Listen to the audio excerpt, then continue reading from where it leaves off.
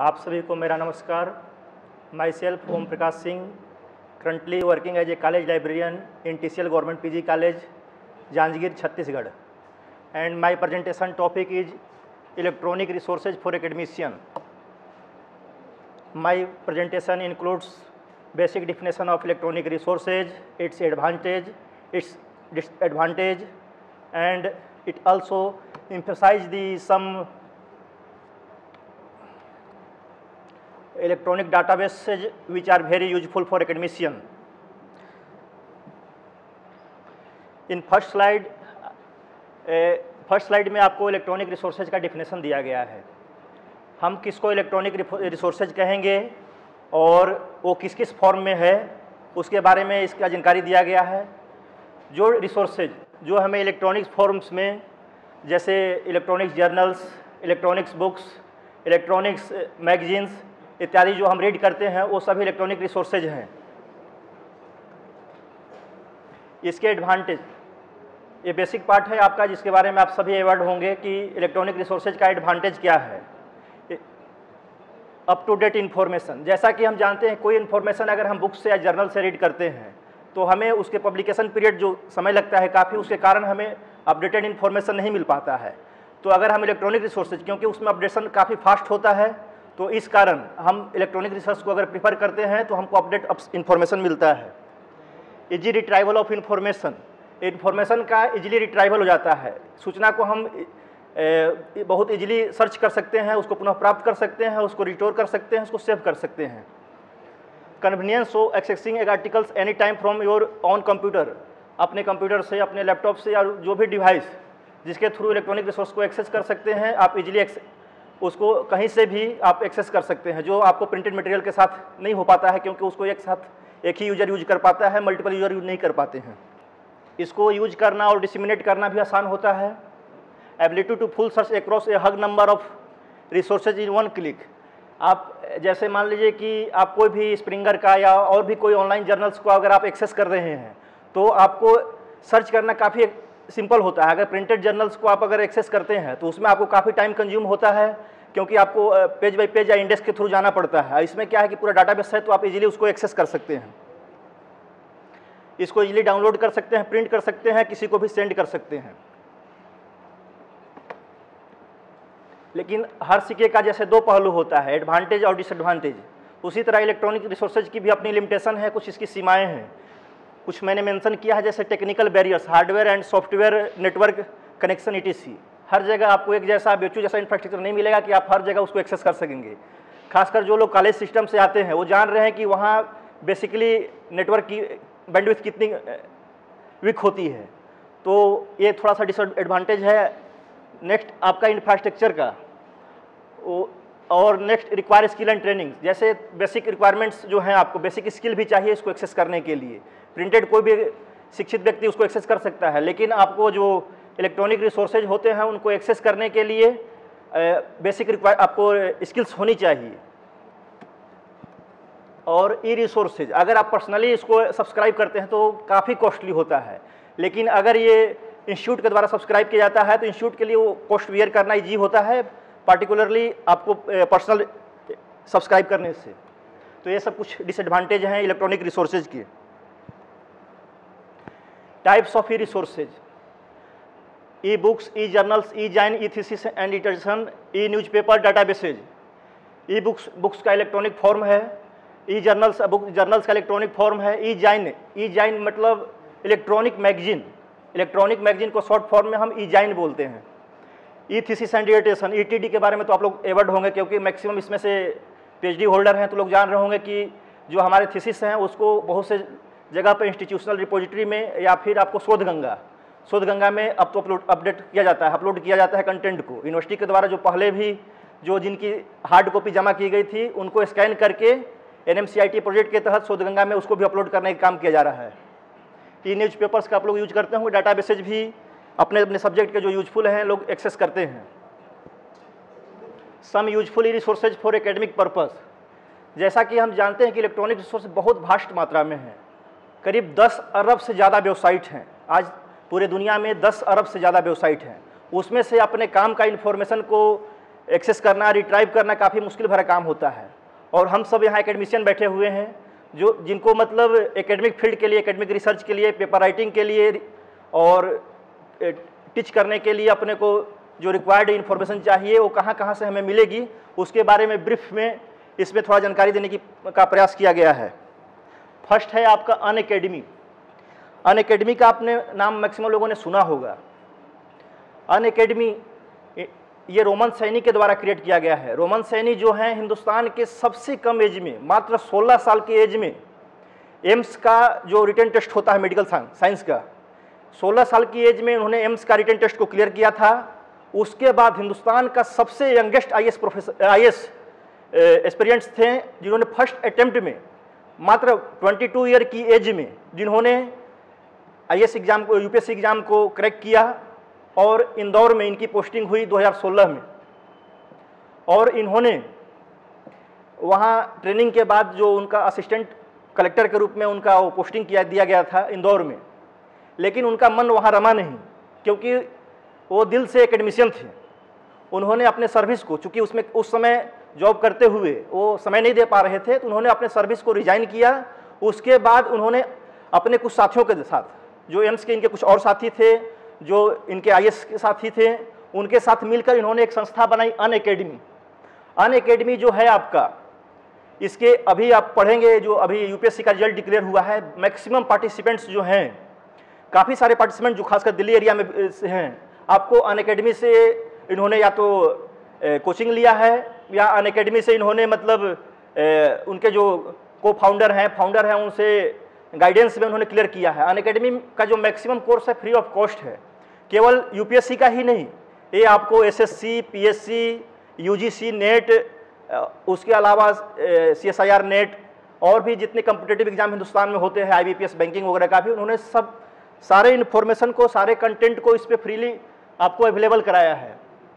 कुछ कोर्सेज जो हैं, खासकर यूपीएससी प्रिपरेशन के लिए, उन्होंने कुछ पैड रखा है, कुछ को इन्होंने ओपन एक्सेस में रखा है।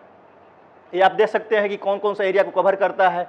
इवन गेट एग्ज़ाम का केट कैट का बैंक एग्ज़ाम का, आपको बहुत से जो आपके पीएससी के एग्ज़ाम होते हैं आईआईटी जेई के एग्ज़ाम होते हैं, सारे एग्ज़ाम का इन्होंने स्टडी मटेरियल को इस पर एक जगह अपलोड किया है, ताकि लोग इजीली इसको एक्सेस कर सकें और अपने स्टडी पर्पज़ से प्रिपरेशन पर्पज़ से यूज़ कर सकें। अन अकेडमी का ई रिसोर्सेज है, आपका इसमें हिस्ट्री का भी है, नेट के लिए है। जो लोग नेट की तैयारी करते हैं, उनके लिए बहुत बेहतरीन कंटेंट है उसमें। पेपर वन जो आपका रिसर्च मेट्रोलॉजी का होता है, और सेकंड जो रिलेटेड पेपर का होता है, उसके बारे में सारा इन्फो मतलब वीडियो के रूप में, कुछ पीडीएफ के रूप में इन्होंने सारा इन्फॉर्मेशन इस पर डाला है। नेक्स्ट है विद्वान डाटाबेस। विद्वान डाटाबेस इन्फ्लमेंट के द्वारा मेंटेन किया जा रहा है। इसमें विद्वान डाटाबेस में क्या है कि आपको जितने भी रिसर्च साइंटिस्ट हिंदुस्तान के सीएसआर लेबोरेटरी हो आईसीआर हो, और उसके अलावा जो एकेडमिशियन जो एसोसिएट प्रोफेसर हों प्रोफेसर हों, उनका प्रोफ़ाइल जो है, इस पर इम्प्लीमेंट की कोशिश है कि एक जगह एक प्लेटफॉर्म पर उपलब्ध हो ताकि मैक्सिमम लोग इसका यूज़ कर सके। और जो रिक्रूटर्स हैं, जो बहुत बहुत से जो आपकी फंडिंग एजेंसियाँ हैं, वो फंडिंग एजेंसियाँ जो हैं इससे प्रोफ़ाइल को विज़िट भी करती हैं, उसके बाद आपको बहुत बड़ा एक्सपोजर मिलता है। और इसकी सबसे बड़ी खासियत है जो लिंकडिन का लिंकडिन लिंकडिन के थ्रू भी ये जुड़ा हुआ है। तो आपका जो जितना प्रोफ़ाइल है साइटेशन भी बहुत काफ़ी प्रॉपर मिलता है, बहुत लोग आपके विज़िट करते हैं और आपके लिए काफ़ी ये बेनिफिशरी है। इसमें कौन कौन ज्वाइन कर सकता है ऑब्जेक्टिव्स तो बेसिकली जो मैंने बताया वही है। और कौन कौन ज्वाइन कर सकता है, कोई भी एक्सपर्ट जो पोस्ट ग्रेजुएट हो डॉक्टरल डिग्री हो दिया रिस्पेक्टिव सब्जेक्ट में और उसके पास 15 साल का एक्सपीरियंस हो टीचिंग एक्सपीरियंस या रिसर्च एक्सपीरियंस हो, वो एलिजिबल है इसमें अपना डाटाबेस को अपलोड करने के लिए। और जो भी आपके national international awardee and citation वाले जो लोग हैं, जो जिनको नेशनल इंटरनेशनल अपने फ़ील्ड में काम करने का नेशनल इंटरनेशनल लेवल का जो अवार्ड मिला हुआ है, वो अपने, इसमें अपना प्रोफ़ाइल को अपलोड कर सकते हैं। ये इसमें है कि विद्वान को ही हम क्यों ज्वाइन करें, जिसके बारे में मैंने डिस्कस किया कि काफ़ी आपका जो इसका एक्सेस है आपका लिंकडिन के थ्रू है तो काफ़ी आपको साइटेशन वगैरह मिलता है, काफ़ी आपको पॉपुलरिटी मिलती है, जो रिक्रूटर्स हैं, आपके प्रोफ़ाइल को इजीली देख सकते हैं। तो ये सारा बेनिफिट है, इसके कारण हमको विद्वान को प्रीफर करना चाहिए कंपेरिजन टू लिंकडिन और अदर प्लेटफॉर्म इसमें देखिए, अभी तक पच्चीस हज़ार चार सौ तेईस एक्सपर्ट जुड़े हुए हैं। उनके इतने सारे आर्टिकल्स और इतने सारे उनके जो इन्वेंशन है, उसको इसमें स्थान दिया गया है। एनलिस्ट एनलिस्ट जो है, जो twelve B two F affiliated जो कॉलेजेज होते हैं, उनके लिए इन्फ्लीमेंट के द्वारा मिनिस्ट्री ऑफ़ एचआरडी और ए के द्वारा, ये सर्विस प्रोवाइड की गई। है काफ़ी समय से चल रही है एनलिस्ट हालाँकि बहुत जगह अभी पॉपुलर नहीं हो पाया है एनलिस्ट एनलिस्ट के थ्रू जो, इसका कॉस्ट बहुत कम है, बहुत मिनिमम कॉस्ट है। अप्रोक्स अभी जीएसटी के बाद करीब अंठावन सौ रुपये हुआ है। पहले फाइव फाइव थाउज़ेंड था। अंठावन सौ इसका कॉस्ट है। तो इसमें आप इजीली आप जो है, जो कोई भी इंस्टीट्यूट सब्सक्राइब कर सकता है तो उसके फैकल्टी मेंबर्स रिसर्च स्कॉलर्स इसकी सुविधा का उपयोग कर सकते हैं। इसमें देखिए, बहुत से रिनेम जर्नल्स जो हैं, आपके अमेरिकन इंस्टीट्यूट ऑफ़ फिजिक्स है एनुअल रिव्यू है Economic and Political Weekly political science का बहुत रिनेम जर्नल्स है Indian journals Institute of Institute of Physics J STOR Oxford University Press Royal Society of Chemistry H W Wilson Cambridge University Press कि इतने सारे journals full text journals आपको एक जगह available हो जाते हैं और जिसके लिए कॉस्ट केवल फाइव थाउज़ेंड एट हंड्रेड पे करना पड़ता है। लेकिन ये शर्त यह रहती है इसमें कि संस्था जो है ट्वेल्व बी ट्वेल्व एफिलेटेड होना चाहिए। इसमें उसी तरह ई बुक्स भी काफ़ी सारे हैं। जिस कैम्ब्रिज कैम्ब्रिज का है, आपका ई लाइब्रेरी का है बिस्को होस्ट का है, ऐसे करके बहुत सारे पब्लिशर जितने भी रिनेम्ड पब्लिशर हैं वर्ल्ड वाइड उनका सारा कंटेंट्स आपको मैक्सिमम फ्री ऑफ़ कॉस्ट मिलता है इंस्टीट्यूट का सब्सक्राइब करने के बाद। ई शोध सिंधु। ई शोध सिंधु जो है, आपको शोध गंगा के बारे में आप लोगों ने सब मैक्सिमम लोगों ने यूज़ भी किया होगा। ई शोध सिंधु जो है, आपका जो रिसर्च इन प्रोग्रेस होता है, जो रिसर्च चलते रहता है जिसको सिनोप्सिस वगैरह बोलते हैं तो ई रिसोर्स अगर आपको हमको देखना है कि कौन कौन एरिया में आप, हमारा काम हुआ है, पहले से काम हुआ है, उसके बारे में जानकारी लेने के लिए आपको ई शोध सिंधु बहुत अच्छा प्लेटफॉर्म है, जो इन्फ्लीमेंट के द्वारा मेंटेन किया जाता है। उसके एम्स एंड ऑब्जेक्टिव्स इसमें दिए गए हैं। ईपीजी पाठशाला। ईपीजी पाठशाला जो है, जिसमें करीब 72 पीजी सब्जेक्ट्स भारत सरकार की कोशिश है कि जो 72 पीजी सब्जेक्ट्स हैं, उसके सारे कोर्स कंटेंट को, उसके जो सिलेबस के अकॉर्डिंग जो कोर्स मटेरियल हैं, उनको एक प्लेटफॉर्म पे उपलब्ध कराया जाए ताकि फैकल्टी मेंबर्स भी और रिसर्च स्कॉलर इवन स्टूडेंट्स भी इसके रिसोर्स को यूज़ कर सके ईपीजी पाठशाला के कंटेंट को।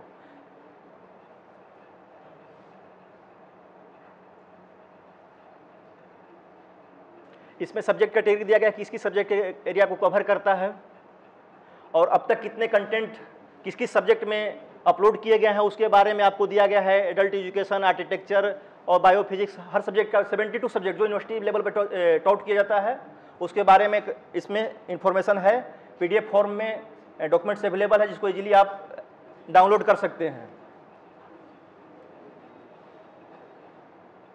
ये ज्ञान कोष ये ज्ञान को जैसे एक दिन जब श्रीनिवास सर आए थे तो इंस्टीट्यूशनल रिपोजिटरी की बात हो रही थी।